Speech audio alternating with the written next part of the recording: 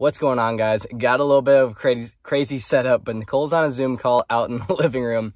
We got an open setup and we got one bedroom. So I'm in the closet. So hopefully, hopefully the acoustics in the closet are pretty good for you guys. Um, but I wanted to come on here and at least dedicate one episode at least right now, um, during all the quarantine and shutdown and everything. At least dedicate one episode to some of the more specific things. Um, so one big thing being nutrition. because I haven't touched on that here yet, uh, where I know a lot of people in the Facebook group. I've touched specifically on them, what they need to be specifically doing. So, a few things is we need to be keeping that protein at the same level. So, calories might come down. We might be bringing our carbs and fats down to bring those calories down, but our protein is going to stay at the same level for what our goals are. Um, so that's typically going to be about one gram per pound of body weight.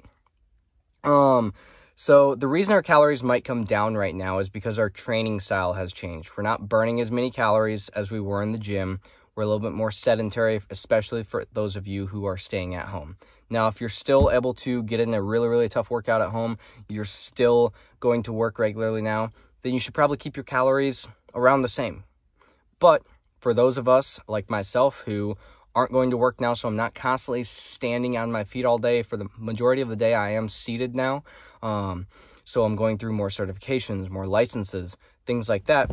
But that stuff is changing for me, so I'm a lot more sedentary. So I'm going to drop my calories down even further. Um, my calories are down a significant amount from where I was at my bulk. Usually, I would never recommend any client um, or have myself drop that many calories from my bulk. I've dropped about 300 initially to start, and we were seeing how that went, going pretty good. I've dropped it about another 150 to 200 because I'm simply burning less calories. My workouts aren't as long. My workout workouts aren't as intense. It's a little bit harder for me to stay focused during my workouts right now, only because I haven't trained in the style in a very, very, very long time since I was in about ROTC time or when back when I was uh, in a high school wrestler, high school track, things like that. Um, it's not my preferred method to train in. So I'm dropping my calories down due to me just being more sedentary throughout the day because I'm not burning as many. So as far as my maintenance level of calories, um, my uh, basal metabolic rate, my BMR, that rate is still the same. However, my calorie expenditure has changed. So I'm changing my intake as well um, to make sure I continue along with my goals. Now, my workouts, no, they're not as intense, but I'm still getting something in at home workouts aren't going to be as ideal as in the gym workouts when you have all the access to those machines, those free weights, um, the different range of those free weights. That atmosphere, that atmosphere just hypes me up when I see other people working out. I'm like, I gotta beat that person. I gotta do better than that person. Um, uh, things like that. So, you know, you're trying to show off a little bit maybe, or it's just that atmosphere of everybody trying to improve themselves at the same time. That amps me up too. So, uh, due to that, if your schedule has changed, you're more at home versus at work, um, then yeah, consider uh, decreasing your calories a little bit. Now, those things can change. Some people are seated when they're at work.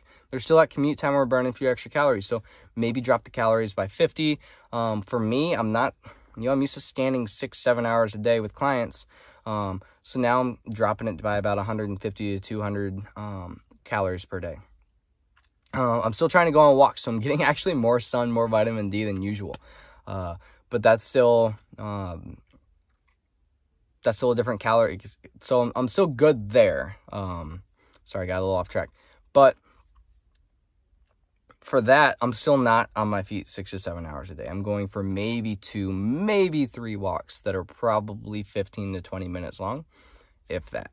Um, so yeah, those are a few things. The other thing is remember your goals and remember your why. Is I have a lot of whys that are keeping me active. I have a lot of whys that are keeping me productive during this time.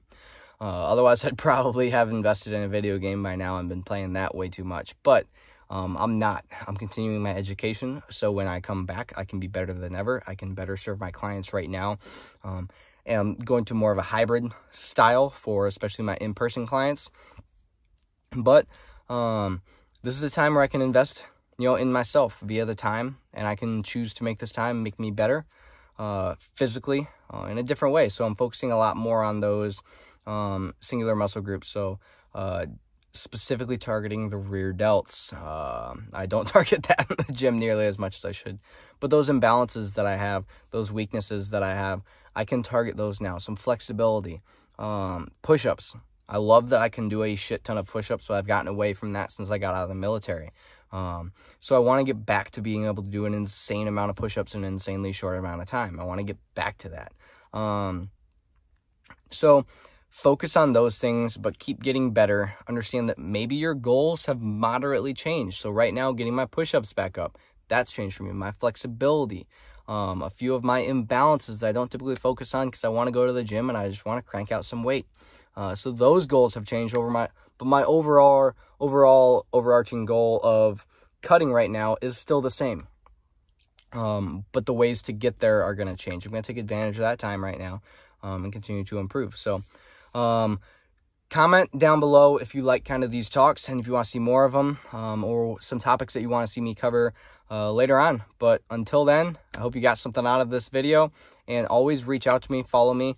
Uh, my Instagram account is jakebloch underscore fitness. That's J A K E B L O C H underscore fitness, just like the title of this podcast. Um, but you can always reach out, ask me specific questions there, um, get signed up for online coaching. Um, make sure you're on the way to reaching your goals. Pick my brain a little bit, but have more of that structured guidance to make sure that you're achieving your goals as safely and as quick as time as possible. So, um, see you soon, guys, in my next episode.